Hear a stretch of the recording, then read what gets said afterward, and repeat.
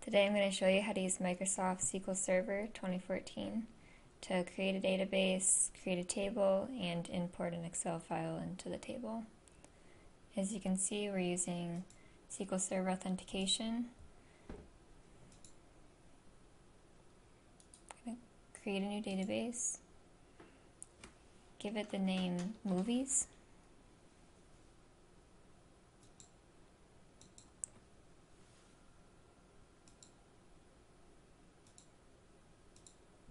We're going to create a new table.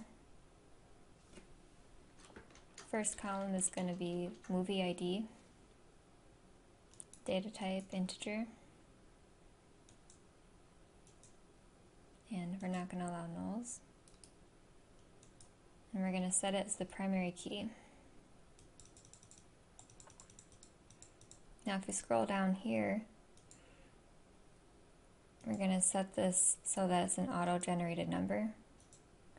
And it's going to start at number 1 and increase by 1. Now instead of filling out all these, we're going to save some time and load a script that I already have on my clipboard.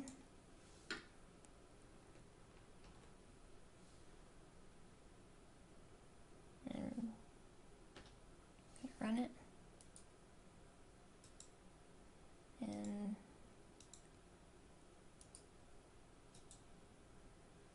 As you can see, the table has been created.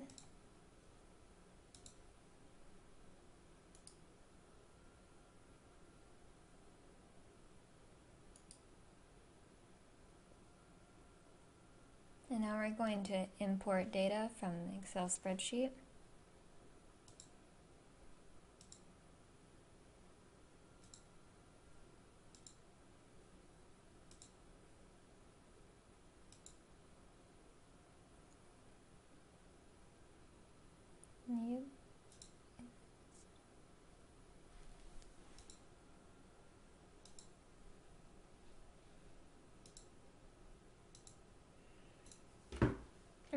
The Server Authentication again.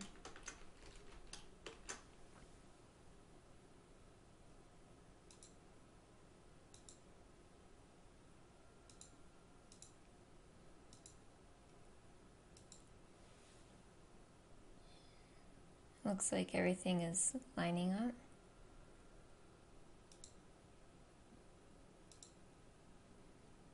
Yeah, looks good. They're gonna hit OK. Next. Finish. Everything's good.